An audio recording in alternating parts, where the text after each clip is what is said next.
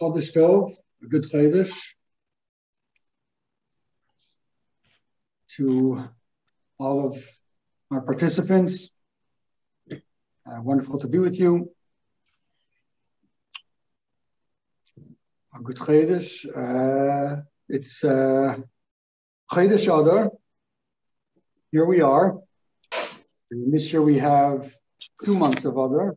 I suppose that when Hashem told us does, doesn't cost anything to smile, so we said we'll take two of those.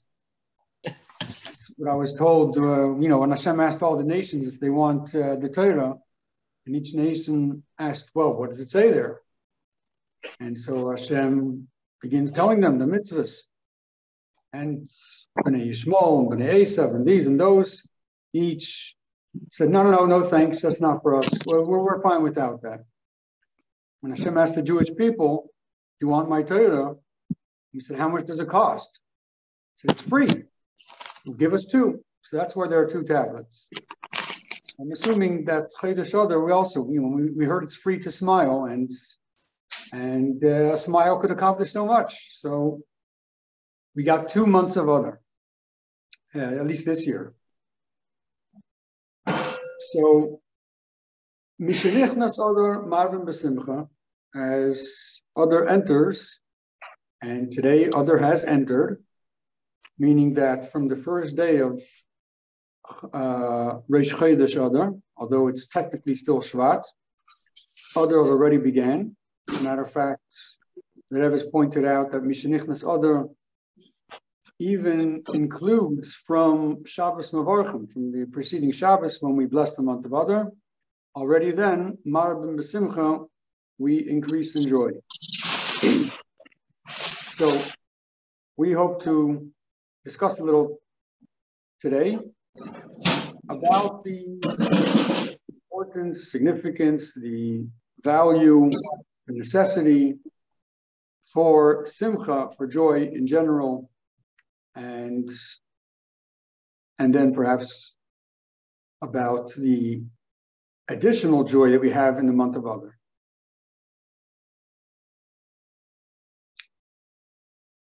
One can argue that the imperative to be joyful even before even before approaching Torah mitzvahs, before approaching our relationship with Hashem, is a moral imperative that a person should be, so to say, required to be joyful, joyous, and uh, good natured, optimistic, in a good mood, even just for one's own surroundings, meaning that a person's uh, per, when a person is besimcha, a person is in a state of joy, that person is much more pleasant to his or her surroundings and to those who he or she encounters. So when a person is radiating joy, everyone else is enjoying their presence. When a person is sulking or radiating the reverse and has a pessimistic outlook or is getting annoyed by everything that's going on or some things that are going on, that person is less pleasant to be around and people enjoy their presence less.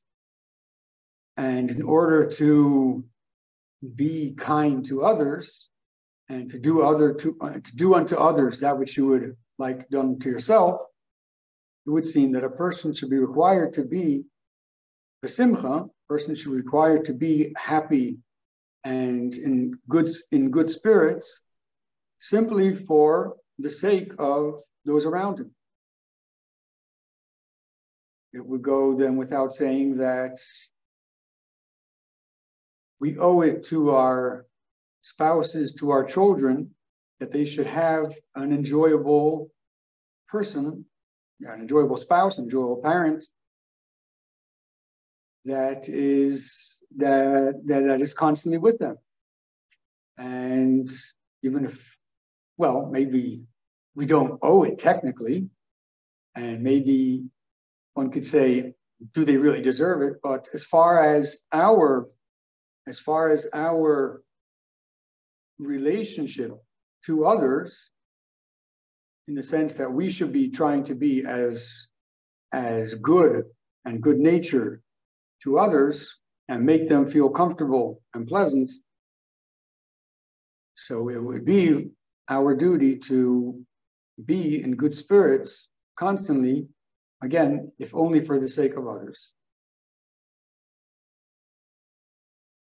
Then there's what many of us might be familiar with in Tanya, which actually we will be studying this chapter.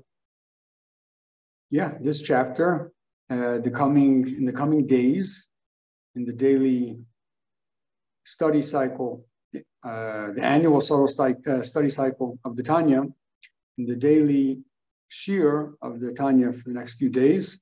We'll be studying chapter 26. Uh,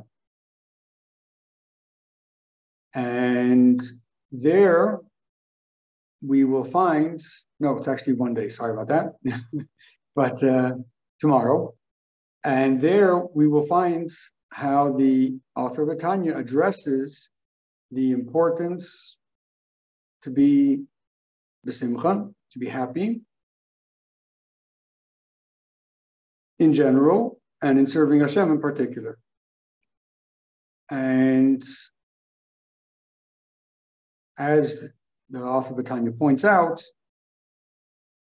when one is struggling with an opponent, and we are always struggling with an opponent, namely our own evil inclination, or more generally speaking, our own natural soul, animalistic self, with which we are constantly struggling.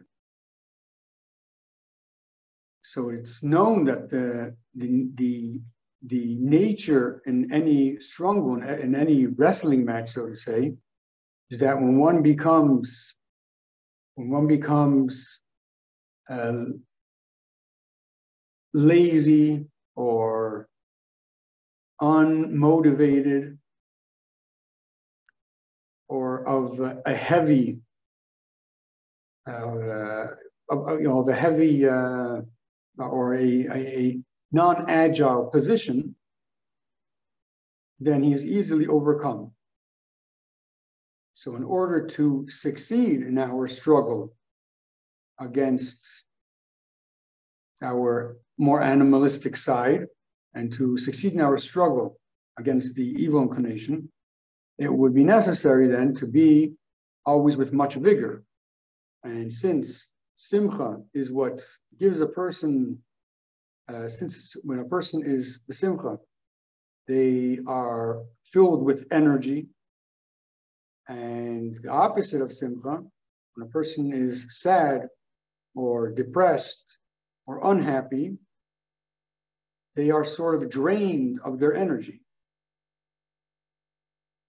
Drained of their energy and without motivation. And so a person is then easily overcome regarding anything that he would be struggling with. And this will be true, and the Rebbe points this out in, in quite a few letters, as far as I've seen at least. The Rebbe points this out, that this will be true even with regard to one's personal affairs. It was not just in regard to serving Hashem and, uh, and observing the mitzvahs, but in one's personal affairs, one's daily activities, a person would be better off if he, when he was, when he was in good spirits, when he was full of joy, and there, and thereby full of energy. So even just to function in the most optimal way and even for a person to simply succeed in any of his endeavors, in all of his endeavors, it would do him well to expose himself to an extra dose of joy. So thus far we have established that with regard to a person's relationship to others, simcha is beneficial to the others. With a person's, uh, with regard to a person's relationship with himself, simcha would be beneficial, meaning that when a person is joyful, he is more energized and more bound to succeed in whatever he's doing. And similarly, in a person's relationship with Hashem, as one may say, these are the three uh, dimensions of relationships that a person constantly has with Hashem, with others, and with himself. And similar with Hashem, as the Alter Rebbe points out, like we noted, a person is more bound to succeed in fulfilling what Hashem wants and overcoming his natural instincts, his animalistic drives, or even his own uh, un, uh, lack of uh, motivation to fulfill Hashem's will by by being in a state of simcha, of joy, and in, in good spirits. Taking this a step further,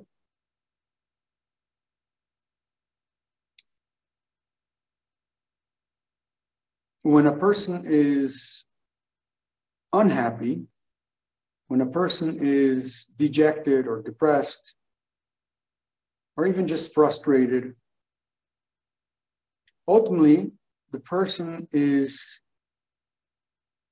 feeling that negative feeling because of how absorbed he is in his own situation, or because of how important his own experience and central to his, to his own experience is to him. So, in other words, if a person were to be less uh, less uh, fixed on his own, let's say the, the importance of his own experiences, if a person were to, to be more fixed on what is objectively important, he would have much less reason to be upset of course, we are subjective people, and it's natural that we that we consider what happens to us more important than what's happening not to us. However, since the since a major focus in Torah in general and Hasidus in particular is to be focused on what Hashem wants and to be focused on Torah mitzvahs and to be focused on a, on a more objective reality than the subjective reality that we typically experience, and to be focused on the true reality of Ein Oid Milvadei, of there's nothing other than Hashem in its purest and truest sense, that there's nothing, no existence at all outside of Hashem's existence, outside of the reality of Hashem. And the more we would be in, in contact with that awareness, the more we would, we would be in sync with, with that uh, awareness, that, re, that uh, recognition, that consciousness, we would be so much less frustrated or annoyed or dejected or depressed by whatever it is that is putting us in that state. Which brings us to recognize that since bittul or self nullification plays such an important and central role in, in Hasidic thought and in general, as mentioned in in the Torah outlook, and even as also as mentioned, it, it, from a purely philosophical standpoint, it's clear that objective reality is is more truthful, is more uh, should have more authenticity, more value than our own perception. So the the experience that brings us to the opposite of simcha is one which is really losing touch with, with the truth, in a sense. And it's one which is certainly losing touch with a more accurate and more proper focus on what really matters, what matters most.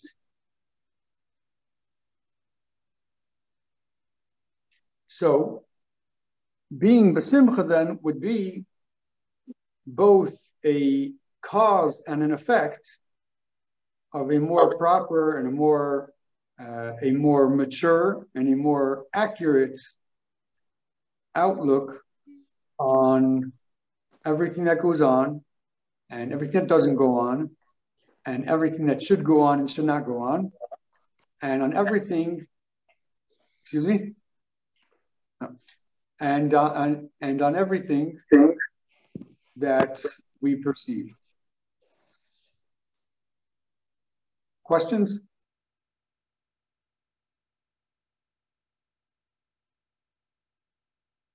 Any questions?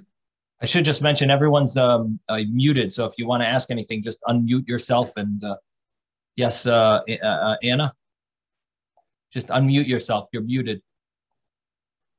We cannot hear you.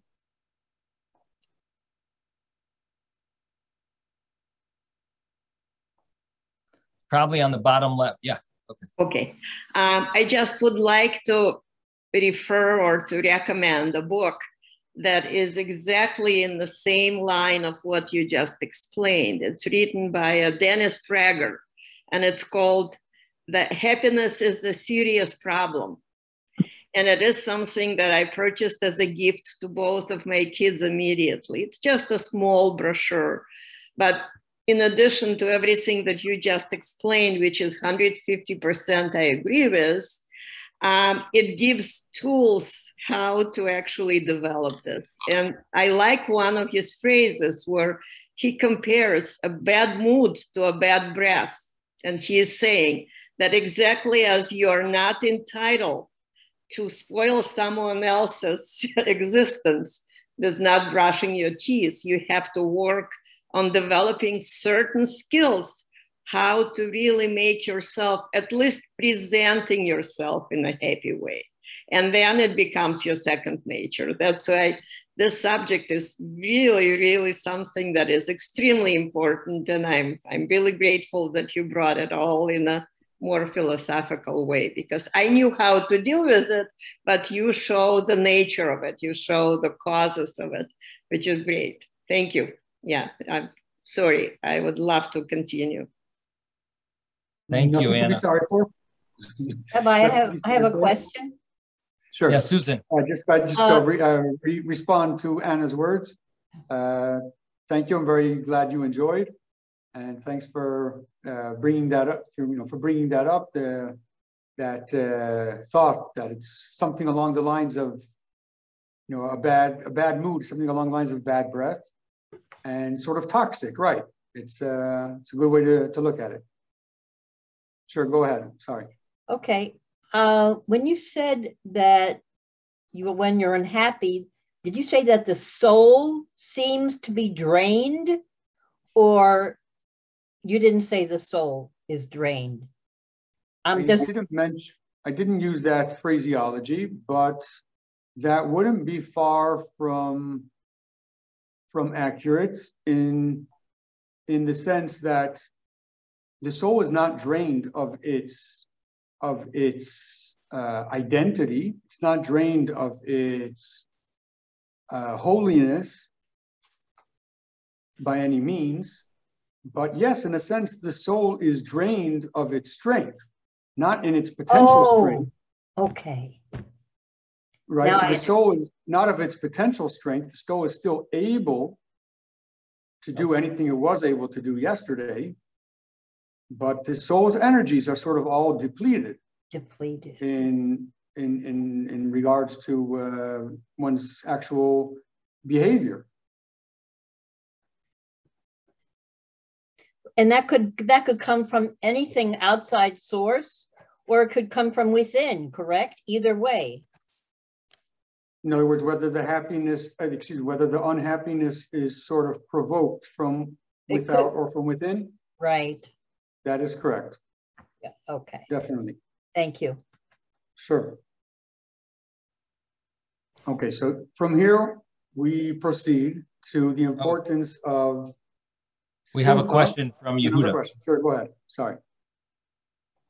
Yeah, I, I just wanted to point out an example in the Torah of what you're saying. Yaakov, when he was depressed because of uh, Yosef, uh, he thought Yosef had died, he didn't receive prophecy. Correct. Correct. As a matter of fact, all the Nevi'im, as a general rule, would only receive prophecy when they were in good spirits. Right. Uh, as Rashi uh, actually says clearly, I mean, it's, it's not the earliest source, but Rashi even brings it in his Pirush that Ein hashor shira el mitech simcha. The prophetic song could be sung only from, from, a, from a state of joy. And all the Nevi'im would have to be in a state of joy in order to in order to uh, to to obtain prophecy, in order to uh, to make that communicate, to receive that communication from Hashem of prophetic vision. As a matter of fact, as a matter of fact,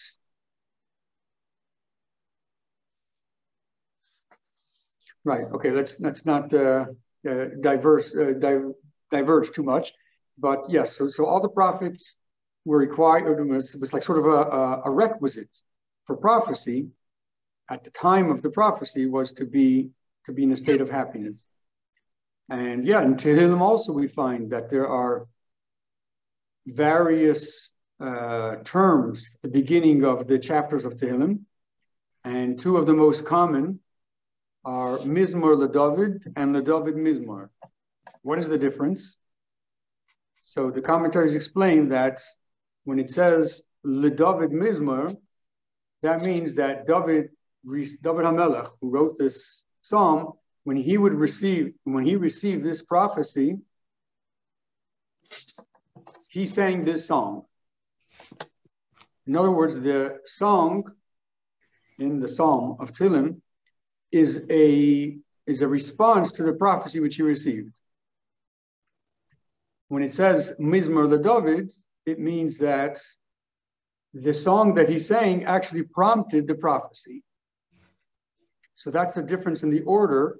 Is it the song that prompted the prophecy or the prophecy that prompted the song? When it's Mizmor LeDavid, a song to, uh, to David HaMelech, so it's, it's telling us that the, the Mizmor, the song, brought about the prophecy which David HaMelech had.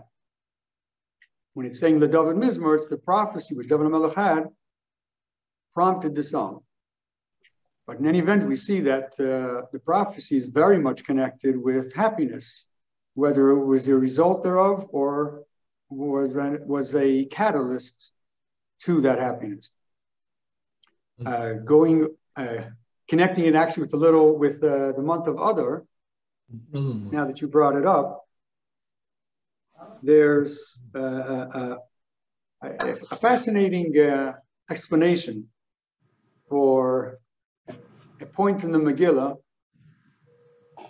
in the story of Purim, where there are many explanations, but th this one's very much related to what we're discussing, so we'll bring it up, which actually indicates that not only is joy uh, necessary and perhaps um, productive in order to reach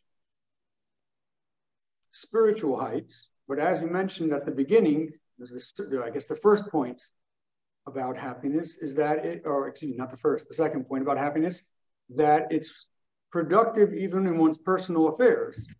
It makes a person more, more likely to succeed. So in, with regard to the question of why did Esther not breach her, her ambitious request to Achashverosh at the first feast when she invited Achashverosh and Haman to feast with her. She comes there, they come there, and you know, wining and dining. And then when Achashverosh says, So, my dear queen, what would you like? She basically says, Well, how about tomorrow? I'll tell you. Okay, so what was she thinking in the first place? Was she expecting to push it off till tomorrow? Was she was she in other words did she have was her plan ruined somehow? What happened here? What was her original plan? So the gemara gives many responses uh, many different answers to this question. And it's amazing how the gemara uh, the gemara concludes that one of the great sages was told by Eliyahu Navi when asked, so which of these was Esther's intent? In fact, what was Esther really thinking? These are all good suggestions, but there must be something that was actually her plan. There must have been some reason why she actually made this move and told Achashverosh, how about come tomorrow, we'll do this over. And you know, then I'll tell you. So Eliyahu Novi answered, she was thinking all of them. All of these reasonings, all of these ideas were on Esther's mind, and all of them were the cause for her decision. So anyway, there's an interesting explanation. One, of, like I said, there's many explanations to this uh, phenomenon, but and one of them is that Esther saw that Haman was so proud and enjoying himself so much at this meal, at this feast. Imagine he's thinking to himself, I am the only person in the whole kingdom who's invited to a special feast with the queen, with Queen Esther, the uh, you know the, the, the, love of uh, King Ahasuerus is doing anything for her to get her to to to disclose her her her, her background, her identity, and so on. And here, this Esther, who is so beloved to the king, who does she invite to the feast with him? Just me. And he can't get over it. He's in such he's he's he's just loving every minute of it. Um, yeah, he, he's loving every minute of it. And Esther sees that he is so happy, so, so proud, and so in such good spirits, so upbeat. She says to herself, someone who's so happy, I won't be able to defeat them. Let's try again tomorrow. Maybe tomorrow he won't be in such good spirits. He won't be so happy and so optimistic and so excited maybe then I'll have a better chance. Of course, taking into account that there was, was a serious Gezerah and Shemayim, and it, it was not going to be easy to, you know, she, she had a, she was working against something really difficult. So she recognized someone who's in such good spirits, someone who is so joyful at this moment, I, I don't think I have a chance. Let's wait and try again tomorrow. Sure enough, tomorrow, Haman comes back, humiliated, defeated, and bereft. He's he's uh, he, he lost a daughter. He got garbage dumped on his head in middle, you know, in the streets of Shushan. He was ridiculed wherever he went. And worst of all, he was the one who had to lead Mordechai, to, uh, to escort Mordechai throughout the streets of Shushan, exclaiming his greatness when he was here about to put you, when he was uh, scheming how to end his life on this very day. Instead, everything turns over, and Mordechai is riding in the king's clothing, in the royal, wearing the royal crown, and Haman is his servant, schlepping uh, the horse around, proclaiming to everyone the greatness of Mordechai. And this is how Haman comes to the feast, a total wreck. Esther says, now is my chance. Because when a person is happy, when a person is in good spirits, they are much less easily defeated. So again, um, just, uh, I, along the same lines of uh, of the nevuah, how it only it only would uh, transpire, and as you saw by as you mentioned by Yaakov Avinu as well, he was not able to have nevuah for as long as he was uh, mourning, although erroneously mourning Yosef Atzadik. Um, I see Ben has a question. Uh, sure, can, you, can you take questions? Okay, yeah, Ben. I wanted, I really wanted to make a comment that it, it's not just nevuah that, that you have to be happy when you receive it, but especially nevuah. But you have to be happy with anybody that talks to you because if you show, you know, a bad behavior or, or face you know, faces that you are not happy with what he's saying, he's not going to talk to you. He's not going to continue saying it.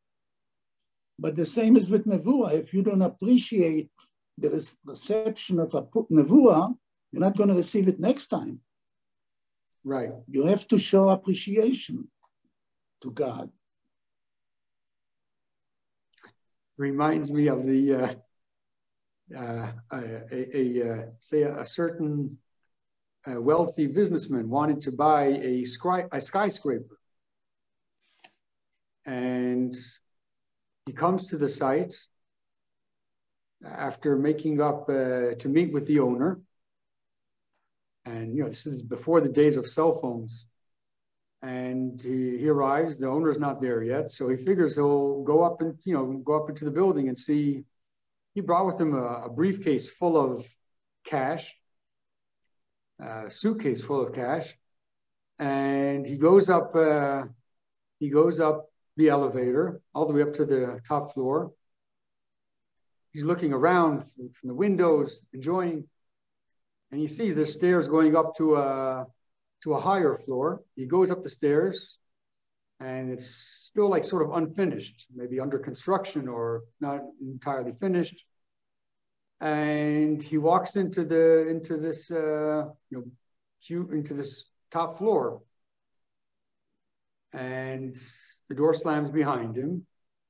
And sooner soon enough, he realizes the door which slammed behind him and locked automatically has no handle from inside and he's locked inside.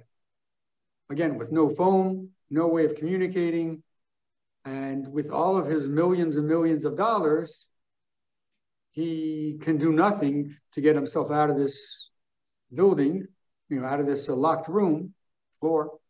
And he has no way of even informing anyone that he's there. And who's ever going to check here? You know, by the time anyone will find him, he'll be rotting. So he's uh, you know, an intelligent person starts thinking, what can I do? How can I get myself out of here? You know, he goes, there are windows. He goes to the windows, starts yelling and hollering, but no one can hear anything. He's dozens and dozens of stories above ground and, and no one's hearing anything. So he has an idea. He has tons of money with him, but is not, you know, doesn't seem to be helping him. So he starts throwing $100 bills out of the window to get people's attention. You know, look up here, this way, this way. He's throwing $100 bills out of the window, and people are walking by. and picking them up. No surprise. Picking them up and continuing on their way. And as much as he throws money out the window to get people's attention, no one is looking up to see where the money's coming from. It doesn't seem to be a major concern. Uh, they're just picking up the money and, and moving on. And even when he throws down like uh, bundles of hundred dollar bills, they're just being picked up and and you know just being gathered as they fall. That's it. And no one's he's not getting anyone's attention. This is not working, obviously. So he takes, he sees that, you know, it's like we said, it's uh, under construction or some kind of, you know, he, he sees cinder blocks. He says, I'll throw a cinder block out the window. Throws a cinder block out the window, smashes a car. Immediately, the owner looks up and says, Who did that? What's going on? Ultimately, that's how we got out of the building. So the uh, probably apparent enough uh,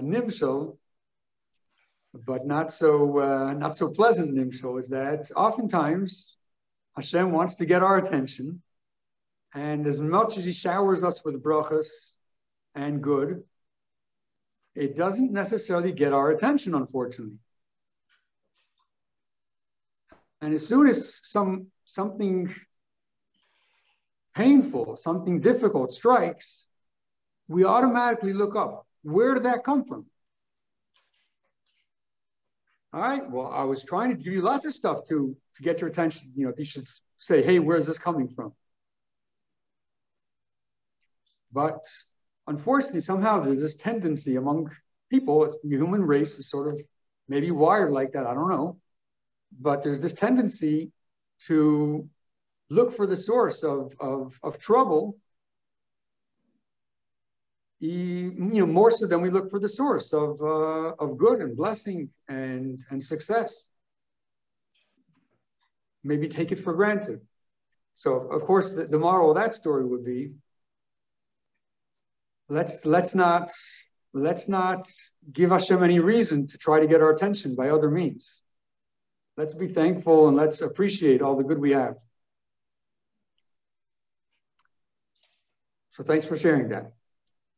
To, to, to go to take this a step further now, again, with regard to keeping Torah mitzvahs, the Torah explicitly enjoins us to, well, at least according to the uh, explanation of the Arizal, there's a pasuk in Parshas Ki Savo, the parsha of the Tochacha, the rebuke towards the end of the Torah, which actually, uh, interestingly enough, this is the season when Moshe Rabbeinu was reading, when was reciting these parshas to, to Am Yisrael between Rosh Chodesh Shvat and Zayin Adar. So this must have been around this time that Moshe Rabbeinu was saying Parshas Ki Savo and so on. we find a pasuk that all these troubles have befallen you, the Jewish people. Tachas asher avadita Hashem Elokecha b'simcha meroiv koil. Because you have not served Hashem, your God,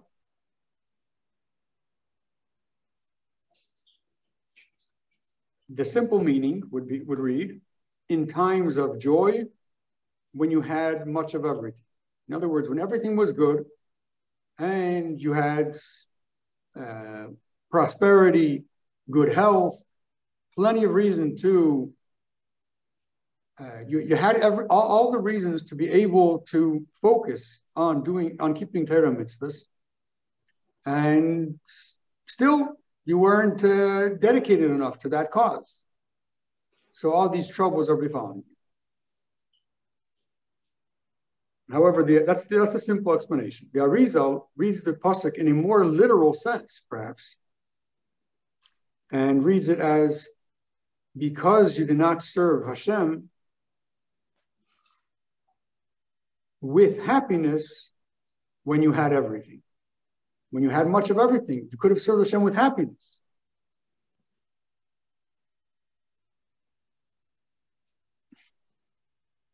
Meaning that the Torah is, is expecting us to serve Hashem with joy. And as we read in Tehillim,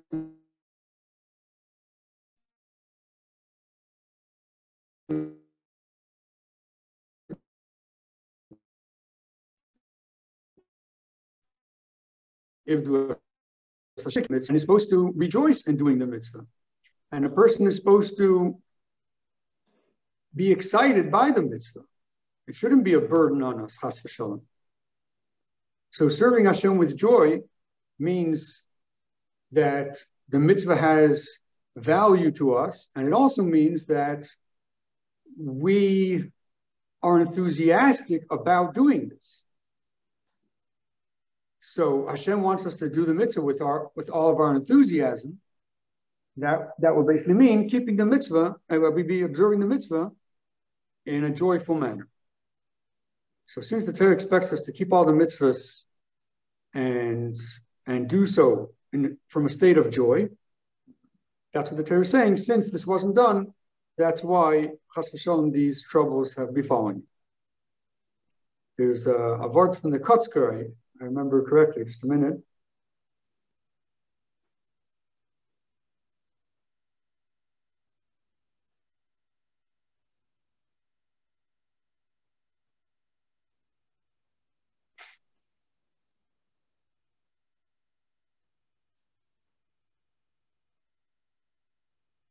Ah, right.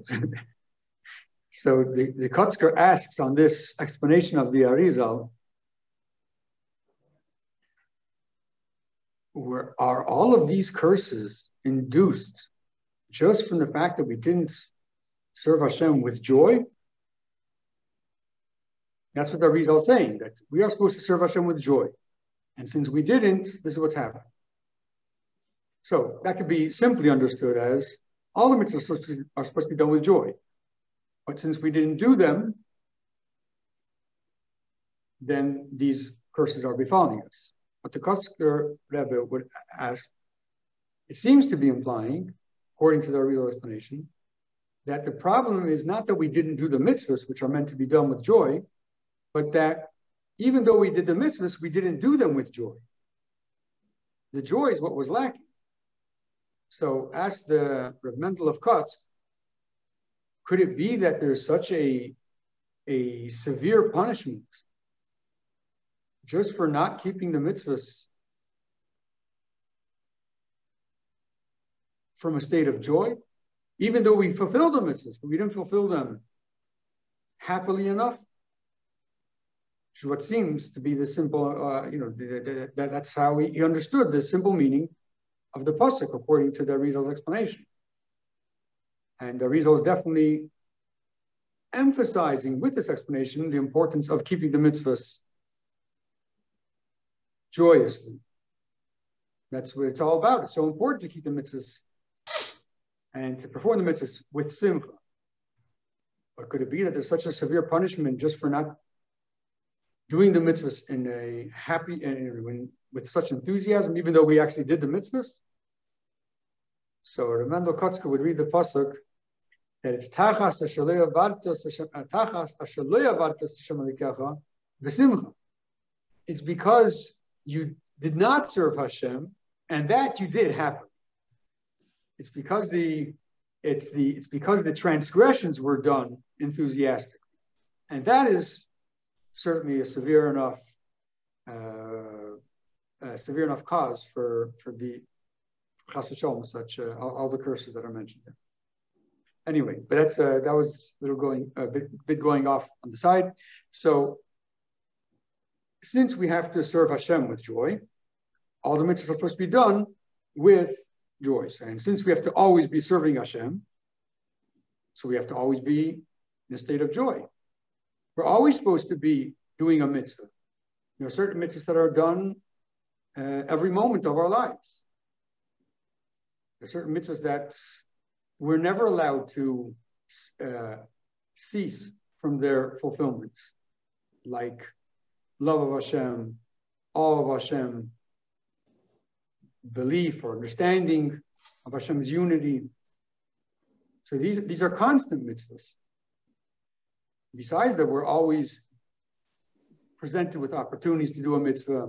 And even when we're involved in our worldly affairs, we're supposed to be doing them the way Hashem wants and for the purpose that Hashem wants. Kol shemaim, that all our actions should be for the sake of heaven. We should know Hashem in all of our ways. In other words, be experiencing our connection with Hashem in everything we're doing, literally everything. So it's not just about the actual mitzvah observance in which we are connecting with Hashem, which we're supposed to be doing through happiness and enthusiastically.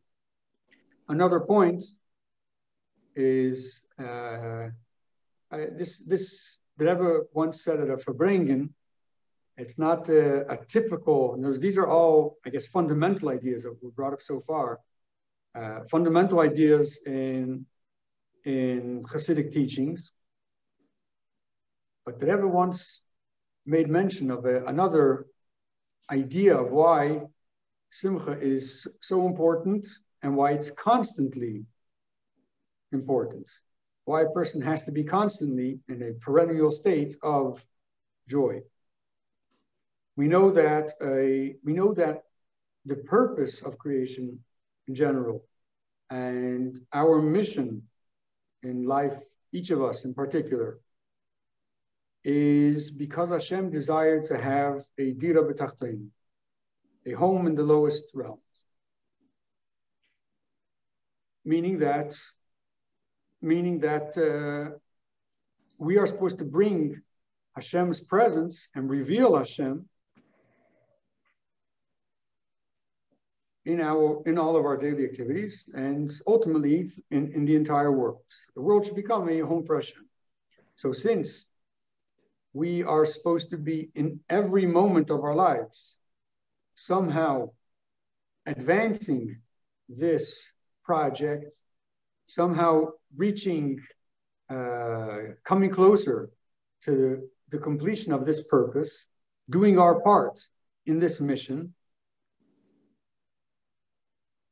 fulfilling our role in, in Hashem's ultimate plan in everything we do, in everything we say, in, in every encounter.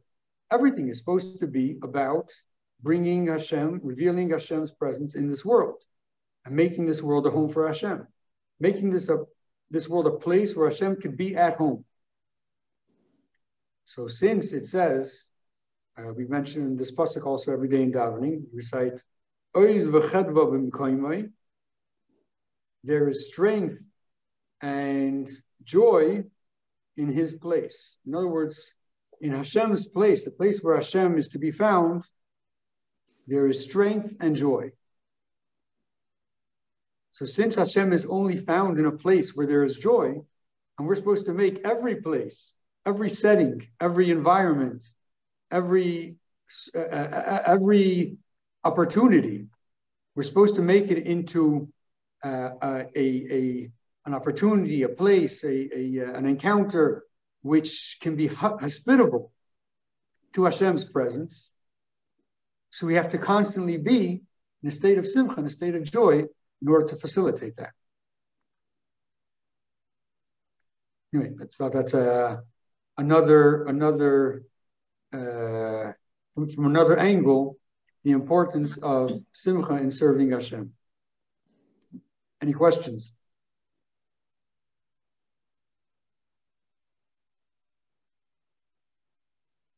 So maybe uh, tell us uh, how a person uh, reaches the simcha.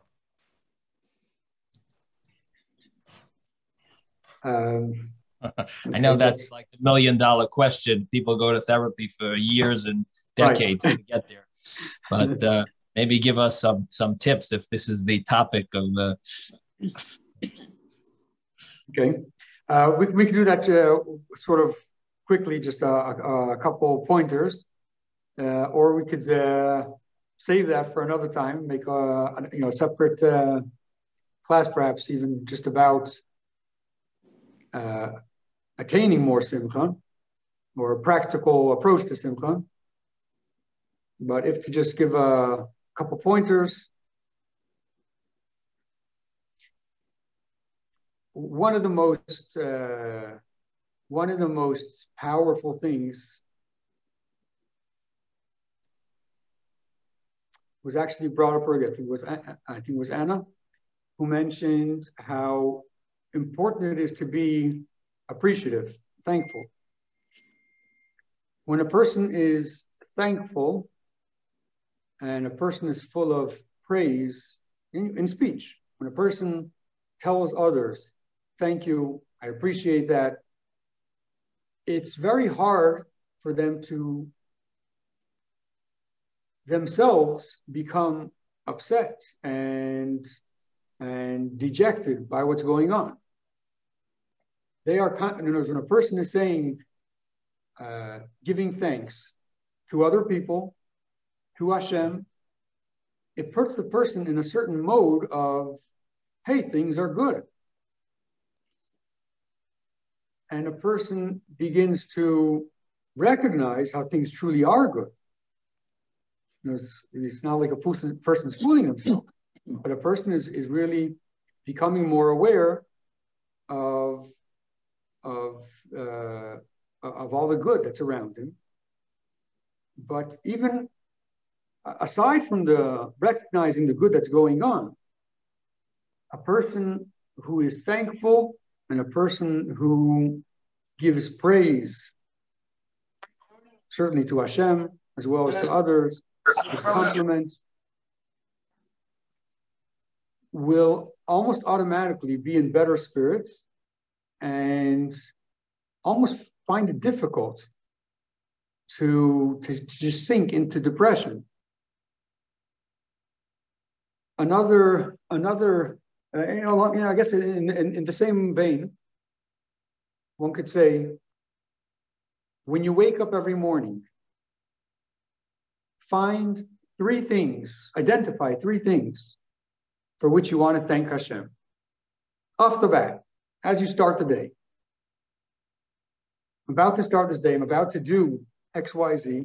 About to tackle a bunch of things I don't want to tackle, perhaps. And I'm about to, you know, you know about to jump into all my tzaras, all my uh, uh, uh, difficult, you know, whatever I have to be involved with, and the, all the difficulties that entails. But before I do that, I want to thank Hashem for three things. And just choose three things that you are happy about, three things that you want to thank Hashem for in your in your uh, personal situation, and that of your family, your health, prosperity, your general background, something that happened yesterday, something that's been going on lately, something that didn't happen, anything that uh, is, just something that right now, this is something that uh, came to my mind, or when contemplating this, I uh, recognized, and I want to thank Hashem for it.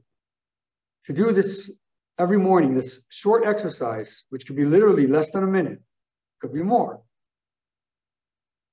is something that really, I think, sets the tone for a person's day and makes a person much more uh, much more inclined to be happy throughout the day.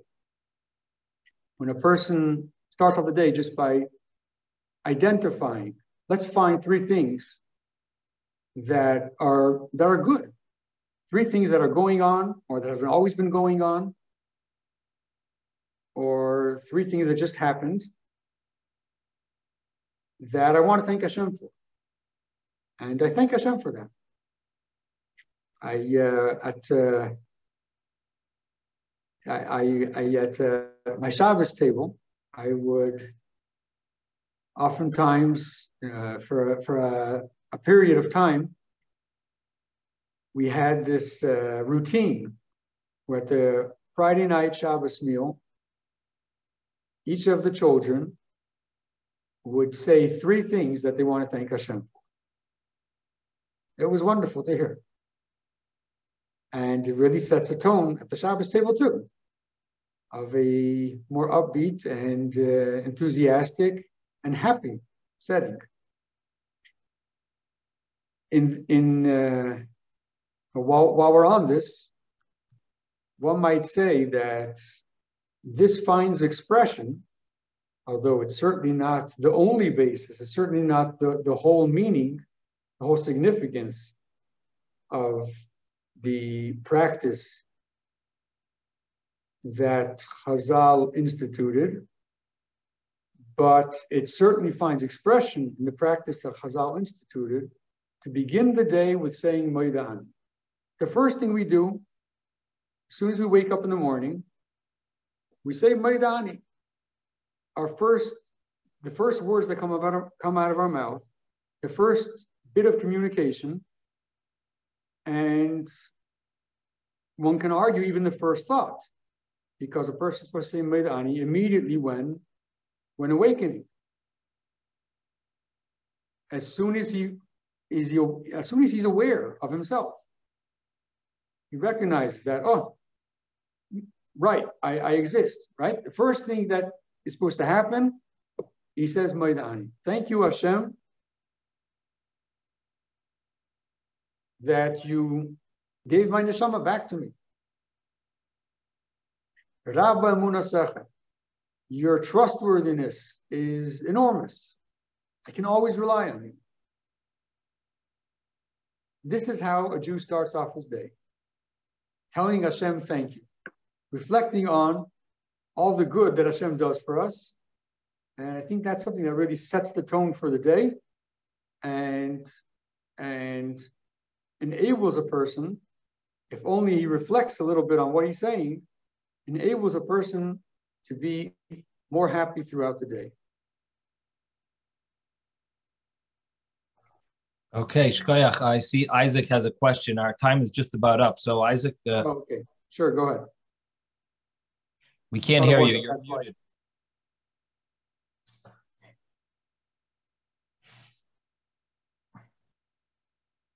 Rabba Emunasecha, the last two words you said. It's not so much that I'm trusting in him, Hashem's trusting in me. Rabba Emunasecha, big is your faith in me that I'm going to do something with what you gave me. You gave it back to me that I should do something with it. It's not that our Amuna is in Hashem at that point. He gave it to us. We're alive. That's what we're thank. That's the way I learned what it means at the end. Right. That's so there is such an explanation, Rabba Munasecha, that your faith in me it's definitely an empowering thought and an, uh, an important thought. Uh, I'm sure the Rebbe someplace said it. I'm sure. Yeah, yeah, no, it's a valid explanation. It's, it's uh, there is such an explanation.